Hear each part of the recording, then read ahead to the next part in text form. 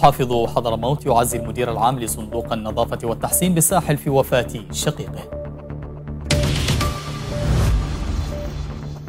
اللجنة الأمنية بحضرموت تقف أمام الأوضاع العامة وتتخذ إجراءات لتعزيز الأمن والاستقرار.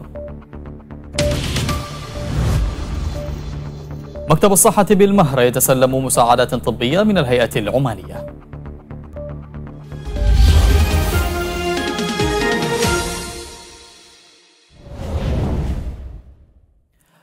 بكم مشاهدينا رفع محافظ حضرموت الأستاذ مبخوت مبارك بن ماضي أصدق التعازي للمدير العام لصندوق النظافة والتحسين بساحل حضرموت فهمي بن شبراق. وذلك في وفاة المغفور له بإذن الله تعالى شقيقه فؤاد الذي وفته المنية هذا اليوم. وقدم المحافظ التعازي لأسرة وذوي الفقيد سائلا المولى تعالى أن يشمله بواسع الرحمة وعظيم المغفرة وأن يسكنه فسيح جناته ويلهم أهله وذويه الصبر والسلوان. إنا لله وإنا إليه راجعون. عقدت اللجنة الأمنية بحضرموت اجتماعا لها اليوم برئاسة الأمين العام للمجلس المحلي بالمحافظة صالح العمقي وذلك للوقوف أمام التقارير الأمنية المقدمة من الأجهزة الأمنية والعسكرية متخذة قرارات تستهدف تعزيز الأمن والاستقرار والسكينة العامة. اللجنة شددت على ضرورة التعامل بحزم مع أي ظواهر أو تجاوزات تخل بالأمن والنظام العام كما أهابت اللجنة بأصحاب الفضيلة العلماء وأئمة المساجد والشخصيات الاجتماعية والأعيان بالاطلاع بدورهم بالتوعية بخطورة الفتنة مشددة على عدم السماح بأي تجاوزات أو ظواهر مخلة بالأمن. هذا ودعت اللجنة المجتمع إلى مساندة قوات النخبة الحضرمية ورفع الوعي بأهمية الحفاظ على الأمن باعتباره مسؤولية جماعية. تسلم مكتب الصحة العامة والسكان في محافظة المهرة المساعدات الطبية العمانية المقدمة لمستشفيي الغيضة وحوف من الهيئة الع... من الهيئة العمانية للأعمال الخيرية. وأكد الأمين العام للمجلس المحلي بالمحافظة سالم نيمر أهمية هذه المساعدات الطبية في تغطية بعض الاحتياجات الصحية التي تحتاجها المستشفيات المستهدفة مثمنا جهود الهيئة العمانية للأعمال الخيرية ودعمها المتواصل للقطاع الصحي بالمحافظة الذي يعد امتدادا لعطاءات سلطنة عمان في مختلف المجالات. افتتح وكيل محافظة حضرموت للشؤون الفنية المهندس أمين بارزيق اليوم مستشفى بضه بمديرية دوعان بتمويل من مؤسسة صلة للتنمية. وخلال الافتتاح طاف وكيل المحافظة بأقسام المستشفى مستمعا إلى شرح من مديرها الدكتور عبد الله باوزير حول الخدمات الصحية التي ستقدم للمواطنين في التخصصات المختلفة وفق أحدث نظم الصحية المعتمدة وبكادر طبي مؤهل. اختتمت بالمكلا ورشة حوارية لمناقشة التحديات المناخية والبيئية التي تستهدف تضخيم الأصوات اليمنية وإدراجها في المناقشات السياسية ومناقشات السلام عبر المسارات البيئية للمصالحة في المعهد الأوروبي للسلام وذلك بحضور عدد من ممثلي المكاتب الحكومية بساحل حضرموت. التفاصيل في سياق التقرير الآتي نتابع. ورشة حوارية مجتمعية خاصة بمناقشة التحديات المناخية والبيئية وتأثيرها على حياة وأمن السكان. نظمها المعهد الأوروبي للسلام ضمن مشروع المسارات البيئية للمصالحة ومنع النزاعات المحلية الذي ينفذ في تسع محافظات يمنية. الكل يرى ما تعانيه اليمن من من وضعها تحت البند السابع وحالة الحرب مما أثر بشكل كبير على على زيادة مثل هذه المشاكل. نتكلم على على مثلا آه، عدم وجود شبكات صرف صحي كذلك مخلفات الشركات النفطية أمور كثيرة تؤثر تؤثر على على الجانب البيئي هدر الموارد المائية بشكل كبير. لذلك نرى إن شاء الله تكون مخرجات هذه الورشة جيدة ونستفيد منها بشكل عام. وتنقل صورة للمنظمات الدولية عن الاحتياجات الفعلية لمحافظة حضرموت في هذا الجانب. تستهدف الورشة إنشاء منصات حوارية تجمع بين ممثلي القطاعات ذات الصلة في السلطة المحلية وقيادات المجتمع المؤثرة ومنظمات المجتمع المدني بهدف إشراكهم في بناء فهم مشترك للعلاقة بين المخاطر الأمنية والبيئية والمناخية والصراع. وتسعى هذه الجهود إلى تحديد حلول فعالة لهذه التحديات من أجل تحقيق السلام ومنع النزاعات القائمة أو المحتملة وتعزيز دور الوساطات في حلها. نطمح إلى تكرار أو مثل هذه ورش العمل إقامتها من فترة لأخرى لتوسعة الوعي ونشر الثقافة وإنشاء كيانات تعنى بالمصالحة في المعالم الجغرافية أو قسمة الأرض.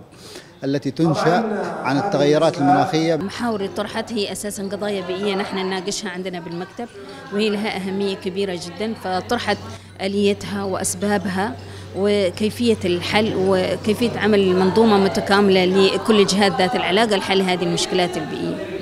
تسهم مثل هكذا ورش في بناء فهم مشترك حول كيفية مواجهة التحديات في الشأن ذاته كما تلعب دورا محوريا في تعزيز التعاون بين مختلف القطاعات وتوحيد الجهود لإيجاد حلول مستدامة تسهم في تحقيق السلام والاستقرار وتقليل النزاعات وتعزيز الوساطة والتفاهم بين الأطراف المختلفة بما ينعكس إيجابا على حياة السكان وأمنهم.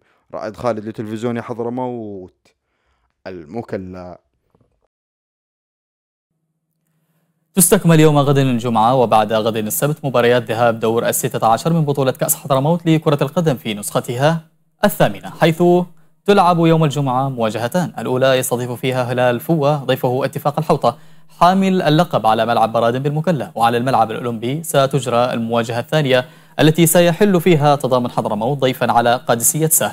هذا وتستكمل مباريات ذهاب ثمن النهائي يوم السبت بلقاء شعب حضرموت واتحاد سيئون على ملعب برادم فيما يستضيف نادي سيئون في الملعب الأولمبي نظيره سمعون.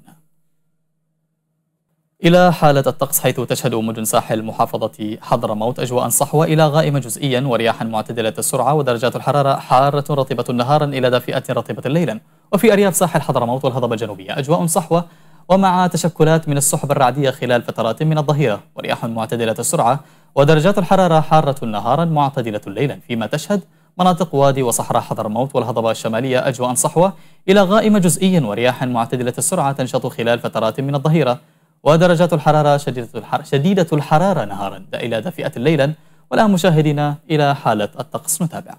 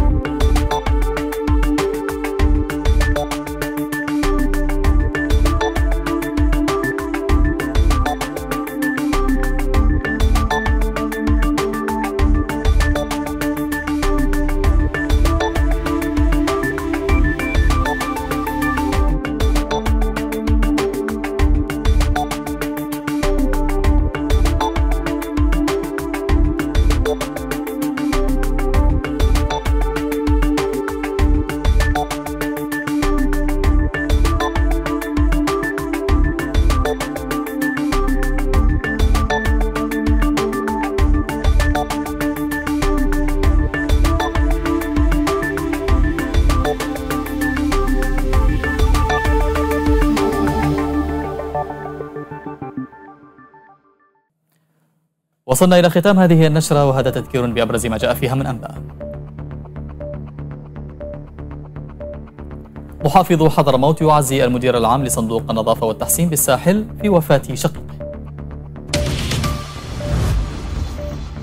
اللجنة الأمنية بحضرموت تقف أمام الأوضاع العامة وتتخذ إجراءات لتعزيز الأمن والاستقرار. مكتب الصحة بالمهرة يتسلم مساعدات طبية من الهيئة العمانية. لمتابعة المزيد من نشراتنا الإخبارية يرجى زيارة حساباتنا على على مواقع التواصل الاجتماعي تلفزيون حضرموت. شكرا لكم على حسن المتابعة. في أمان الله وحفظه.